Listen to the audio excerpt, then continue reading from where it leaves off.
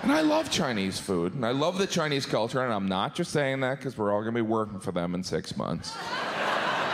the Chinese have an amazing culture. They do. 3,000 years ago, they were doing brain surgery in China, yet they still haven't figured out dessert.